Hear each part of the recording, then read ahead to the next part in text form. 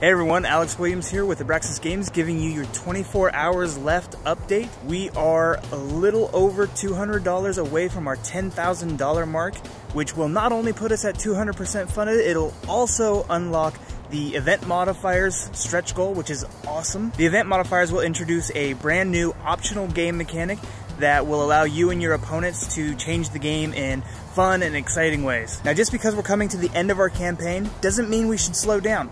We really want to get to the next stretch goal and dare I say it, even the stretch goal where we expand our expansion at $12,000, bumping it up from 25 cards to 40 cards. The only way that we can do that is if you guys really get out there and share this campaign on Facebook and Twitter. And if you use the hashtag don't die game, you will be entered into yet another chance to win a free t-shirt. And remember that the more you share with that hashtag, the more chances you'll get to win the t-shirt. Now speaking of the Don't Die t-shirt, we've had a few people ask, if we don't win the t-shirt, is there a chance to buy the t-shirt?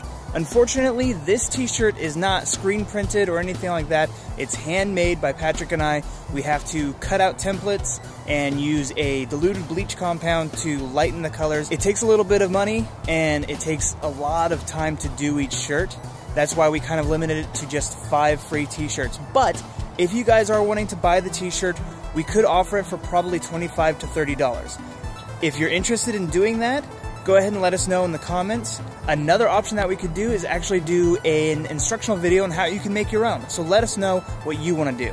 Finally, once again, I want to thank everybody who has donated to the campaign and shared the campaign, talked about the campaign, and shown any sort of interest.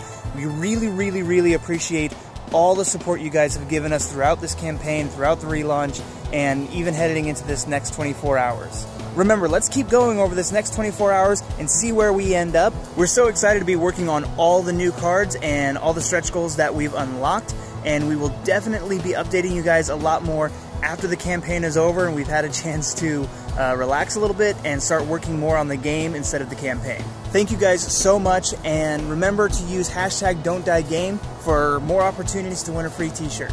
We'll see you in 24 hours.